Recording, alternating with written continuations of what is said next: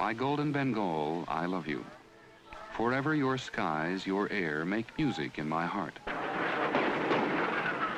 Those words, now the national anthem of Bangladesh, were written by a Bengali poet who died 30 years ago.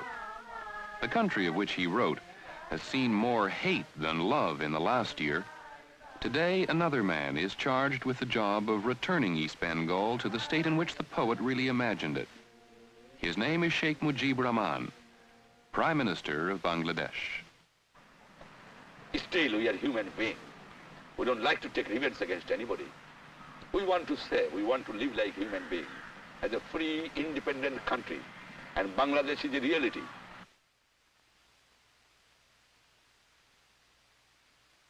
We don't believe in revenge. We believe it is the philosophy of Bengali life. Love, love, and love. It was known as East Pakistan. It is now called Bangladesh.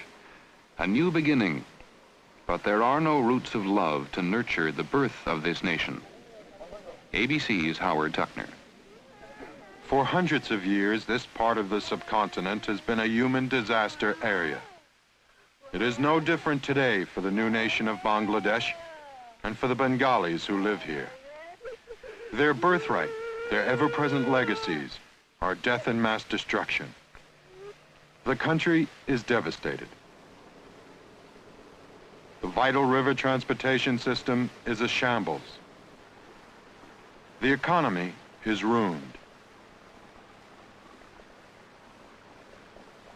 It is flat, wide open, surrounded by water filled with dung and disease. The new nation has been devastated more times by plagues, cyclones, and typhoons than perhaps any other landmass. The toll has been incredible.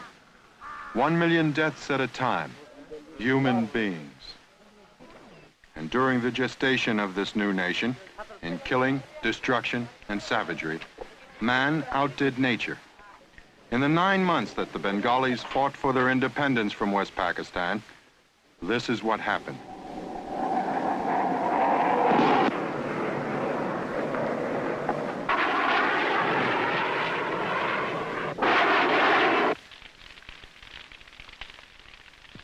Pakistani forces in Bengali supporting the Pakistanis massacred Bengali civilians.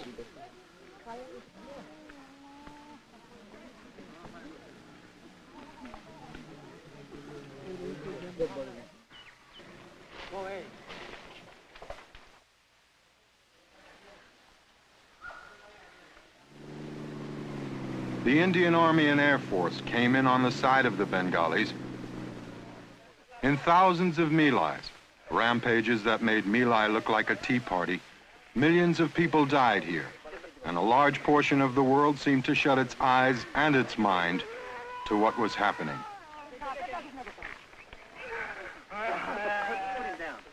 Perhaps it was the civilized mind's inability, as with Biafra, to comprehend such staggering numbers of civilian dead. Or perhaps it was more simple, that because the massacred were Bengalis and Pakistanis, because they lived in the strange, faraway lands of the Asian subcontinent, perhaps because they were not Caucasian, somehow they were subhumans, and that all this really didn't matter much. Out of this savage, hysterical past, the only possible savior during the early months of this new nation could have been Sheikh Mujibur Rahman. To the emotional Bengalis, he's a man of the people, but no mere mortal. To them, he's a godlike man of the people. They need him desperately. He's their only real hope right now. My people loves me. People have respect me. The people have confidence in me and my party.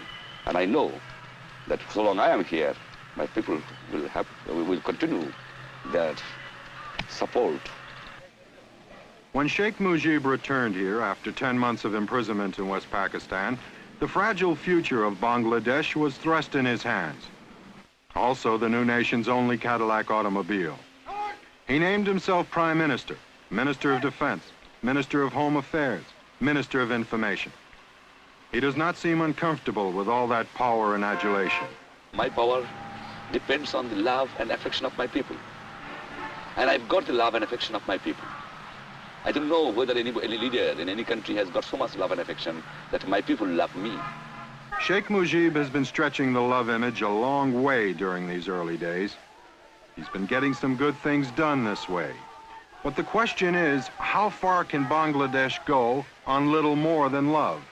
The real danger is that Sheikh Mujib, caught up in all the glory and adulation, truly believes himself that the power of his charisma is enough to solve the immense problems confronting Bangladesh.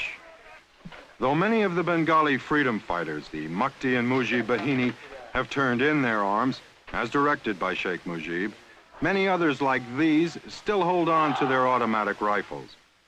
One day they may decide that the country is not being run to their liking. They may want to use these weapons again. One of these boys was telling me, we do not have faith in the Bangladesh force, we do not have faith in the police, we do not have faith in the government. It's only we who are the real inheritors of this independence, and it's only we who will be, who are the real fighters. Peace may not be that permanent here. Massacres, of course, can take place, whether it's racial, whether it's political, between the right and the left, between one group of political elements and another group of political elements, between different classes, and also between Bengalis and non-Bengalis, or Biharis as you may call it, call them. Biharis, who were suspected of sympathizing with the Pakistanis. One million of the minority Biharis still find themselves in Bangladesh. And since the problems are immense, and solution does not come very handy, it's a, it's a gigantic task for any government to solve these problems convulsions of a political nature will take place year after year. That's my personal belief. Year after year? Year after year. Perhaps Sheikh Mujib's inspiration, his magic, will prevent this. Almost every Bengalian government official says the Sheikh has no weakness. They say he's perfect. Almost everybody in Bangladesh says this, and genuinely seems to believe it. Almost everybody but not Sheikh Mujib's closest confidant, the Minister of Law for Bangladesh, Kamal Hossain. We put this question to him. Now, all men have their weaknesses. What, what do you think might be Sheikh Mujib's? He cannot be perfect.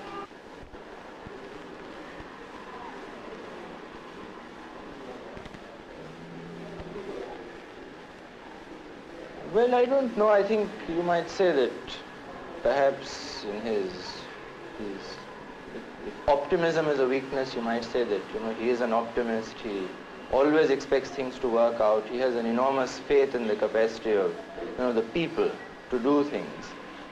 And sometimes you know this kind of optimism may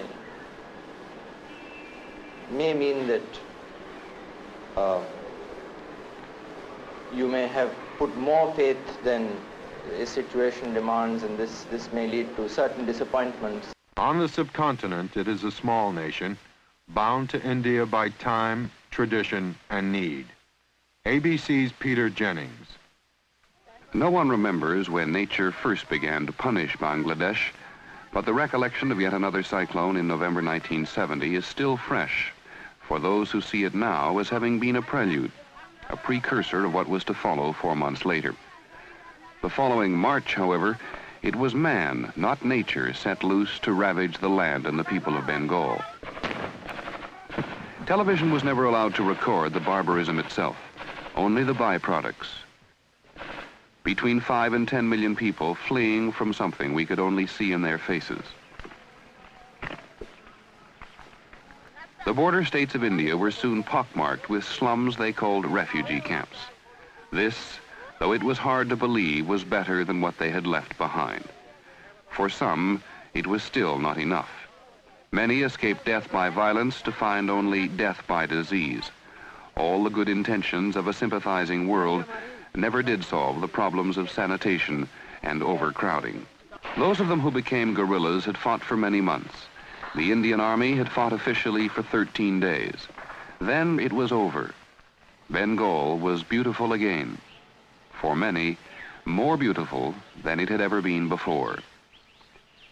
It is presumptuous and no doubt impossible to attempt judgment of this nation at such an early date, yet this is not a nation just emerging from the drawing board, but a timeless piece of land on which more than 65 million people hope not only to survive, but to prosper.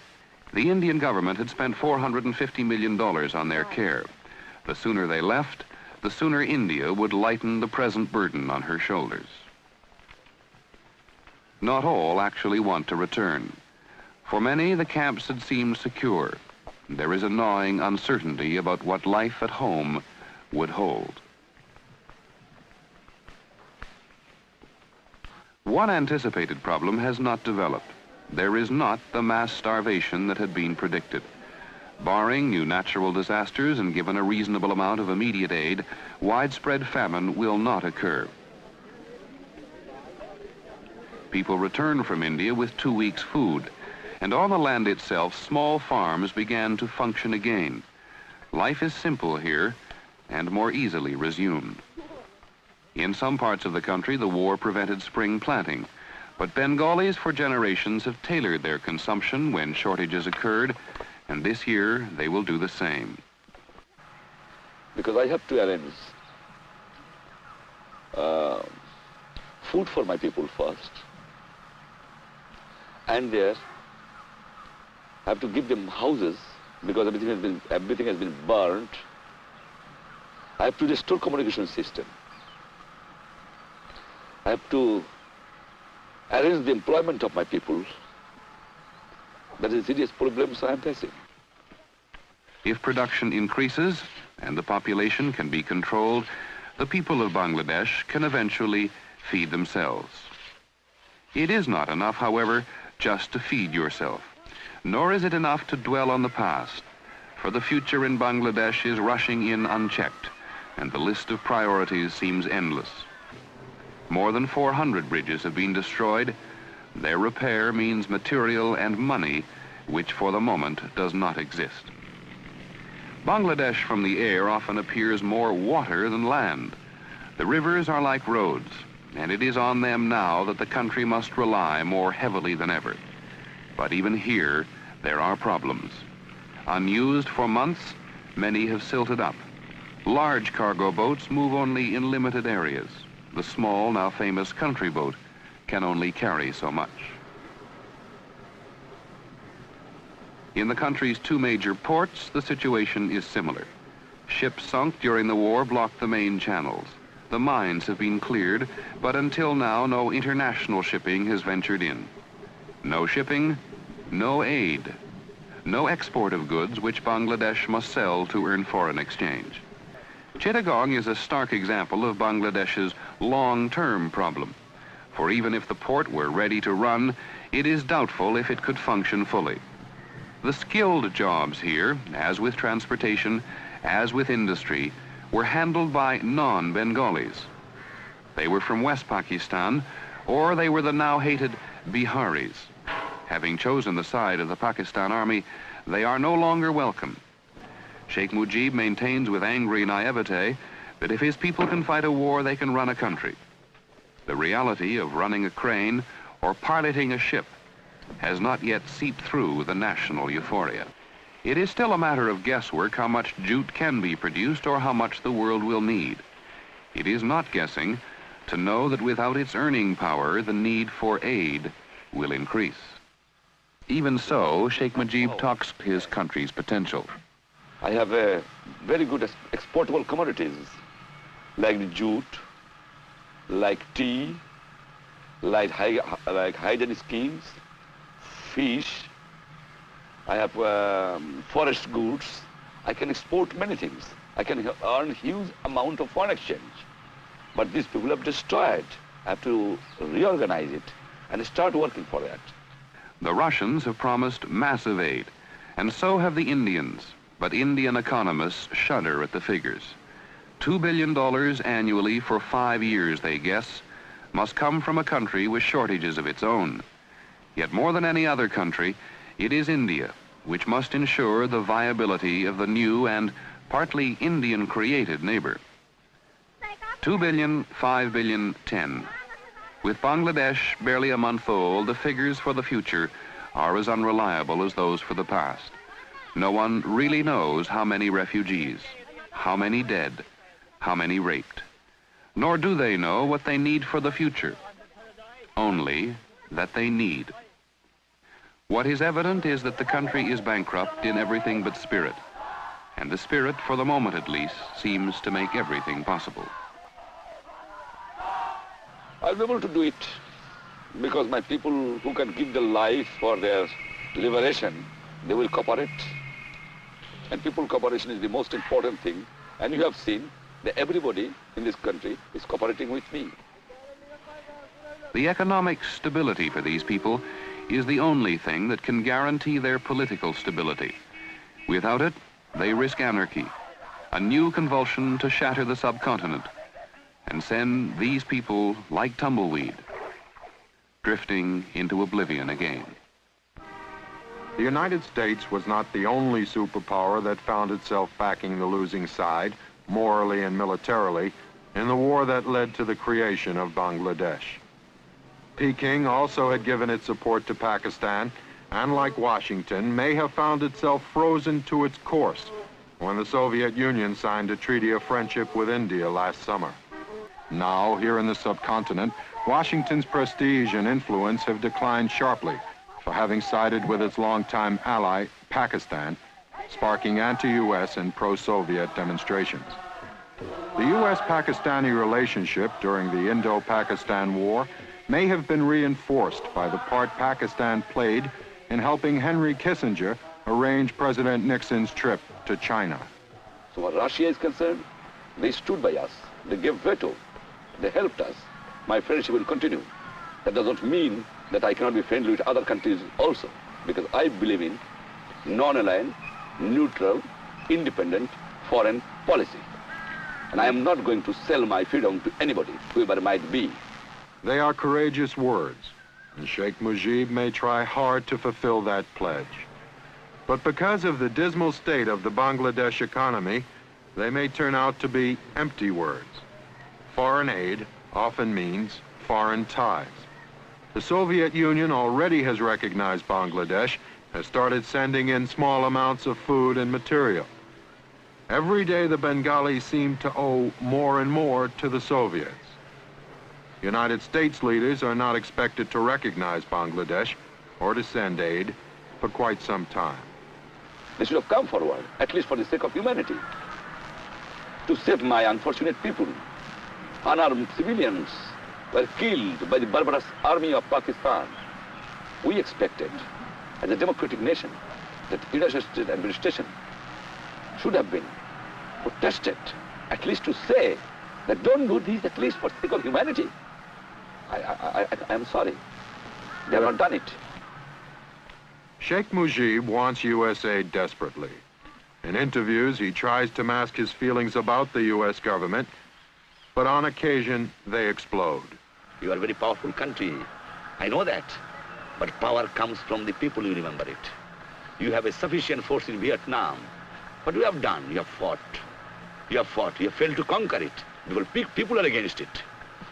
Who, who can produce the best mechanized army in the world? American government. But you have, you have sent everything to the Vietnam.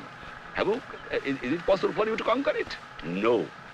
In three weeks, 2,000 miles from this land of golden Bangla, President Nixon will arrive in Peking for meetings with Zhou Enlai. The superpowers have many urgent matters to discuss. The future of Bangladesh and its people may not be high on the list of priority subjects if Bangladesh is on the list at all.